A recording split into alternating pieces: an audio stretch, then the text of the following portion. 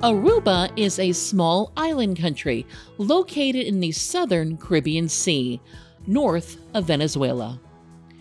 We've cruised to Aruba multiple times, and in this video, we'll give an overview of our return visit to the island in August 2024. During the visit, our ship, the Carnival Celebration, docked in the capital city of Oranjestad, and we rented a car to explore the island. Just a quick note that if you enjoy this video, please give us a thumbs up or leave a comment. It really helps our channel. And consider subscribing so you get alerted when we add new videos. Prior to our cruise, we booked a rental car with a local company for $65 US total for the day. We also downloaded the free Organic Maps mobile app and the app's offline maps for Aruba, Bonaire, and Curacao. The offline maps provided detailed navigation tools and turn by turn directions, even without an internet connection. On the day of our visit, we met the rental car representative just outside the cruise port area and were soon on our way. Our first destination was the Phillips Animal Garden, but we had a couple of quick stops to make along the way. Our first quick stop was Superfood Plaza, which was located about 10 minutes north of the cruise port area. We stopped there to grab a quick bite from the traditional coin operated Dutch snack wall located outside the store. The snack wall was filled with food from the store's restaurant, Jack's Cafe. Most of the snacks only cost a couple of Aruban florins, and we were able to easily get florins as change from the grocery store. The exchange rate during our visit was a bit less than two florins for every US dollar. We purchased a single pastechi from the snack wall because we had a couple more food stops planned for our day, and we didn't want to fill up at the first one.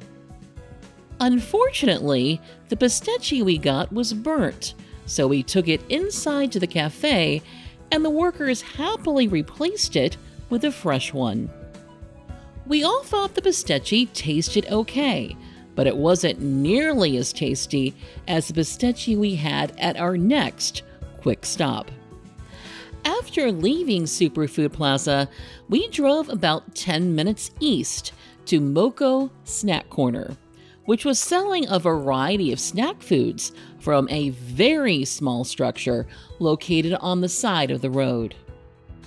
During our visit, Moko Snack Corner had a selection of sandwiches for about six Aruban florins, or roughly three US dollars, and a selection of pastechis for 250 Aruban florins, or a bit less than 150 US. Just like our previous stop, we bought a single pastechi with ham and cheese filling, and we all thought it was delicious. In fact, we enjoyed the pastechi so much that we've added Moko Snack Corner as a place to revisit during future cruises to Aruba. From Moko Snack Corner, we drove about 10 minutes north to Phillips Animal Garden. If you decide to follow our adventure in Aruba, we highly recommend sticking to the paved roads for the drive to the animal garden. The unpaved roads between the two locations were a bit rougher and more confusing than we preferred.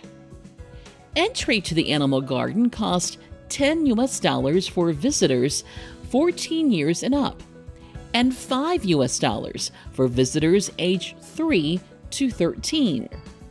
Children under 3 were free. Each admission included a cup of pellets to feed the animals inside. The Phillips Animal Garden is a nonprofit organization that was founded in 2009. The organization's mission focuses on rescuing and rehabilitating animals, and during our visit, we saw donkeys ostriches, deer, goats, and more. After spending some time feeding and taking photos with the animals, we washed our hands at the station located near the entrance and drove to our next destination, the Alto Vista Chapel. The chapel was located about a five minute drive north of the animal garden. The current structure was built in 1952 at the same location as the original church that was built in 1750. Behind the church, the Peace Labyrinth was a fun little adventure for our jelly bean, even if it was more of a winding path than an actual maze. Leaving the chapel, we drove about 10 minutes west to Linda's Dutch Pancakes for some lunch.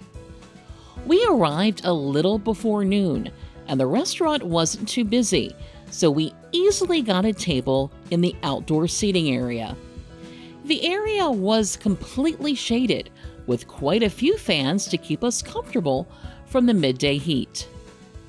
Like a previous visit to Aruba, we ordered a bacon and cheese savory pancake and a Nutella sweet pancake. We also ordered a Dutch pressed coffee. Our food arrived about 15 minutes after we ordered, and we all agreed that Linda's pancakes were the best Dutch pancakes we've ever tasted. And my coffee, which was delivered with a Hershey's Kiss to add in, was delicious. Like Moko Snack Corner, everything was so good that we've added Linda's Dutch Pancakes as a place to revisit during future cruises to Aruba. The total cost for our meal before tip was $25.50 US. As a bonus, our server surprised our jelly bean with a ring pop to enjoy after the meal. And they also gave us some tasty and powerful snow mints. It's worth noting that the restaurant had restrooms and a gift shop available near the entrance our Jelly Bean purchased a souvenir hoodie from the gift shop for significantly cheaper than we found the same hoodie at the cruise port area. On top of that, we also received a discount since we dined at the restaurant. Following our meal, we drove about 10 minutes southwest back to Superfood Plaza to purchase some Dutch treats to try with friends and family back home. Like our trips to the grocery stores in Bonaire and Curacao, we really enjoyed walking through the aisles to find items we identified prior to our cruise. Also, like those other visits, all the employees were super helpful with any questions we had. In total, we spent about $65 US for our purchase, including some snow mints, thanks to our visit to Linda's Dutch Pancakes as well as some carrots to feed the donkeys we are planning to visit a bit later. From Superfood Plaza, we drove about five minutes southeast to Royal Aruba Aloe, where we visited the aloe farm as well as the store, museum, and factory. After spending some time checking out the many rows of aloe plants, we headed inside the main building and visited the store, which had many aloe based products available, such as soaps, lotions, body scrubs, and more. Tours of Royal Aruba Aloe were also available inside the main building. The tours walked visitors through information about the aloe vera plants and their many uses, as well as the history of the aloe plant and the company.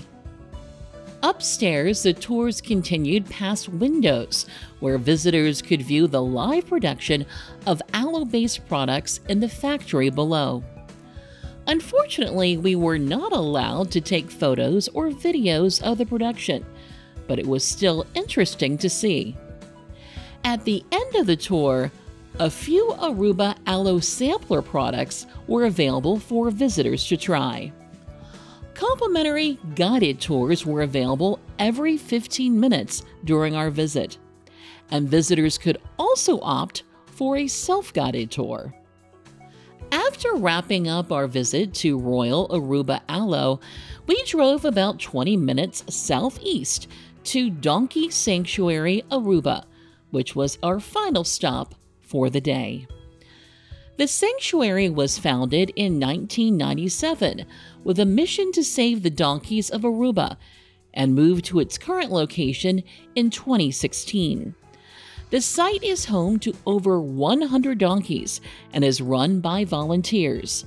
While admission to the sanctuary was free, donations were greatly appreciated. We spent some time feeding the donkeys with the carrots we purchased at Super Food Plaza. And our jelly bean loved the experience.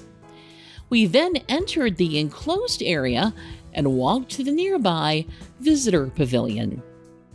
The Visitor Pavilion had several amenities available for guests, including cups of feed available for purchase in case you didn't bring some apples or carrots with you. A hand washing station for after feeding and petting the donkeys. Some shaded seating for relaxing and watching others interact with the donkeys and a small shop for purchasing souvenirs. When we were done, we left Donkey Sanctuary Aruba and drove about 15 minutes northwest back to the cruiseport area. We then fueled up our rental car and returned it about 7 hours after we first picked it up. If you're interested in more information about our rental car adventure in Aruba, We've linked to some sites we found useful for planning in the description below.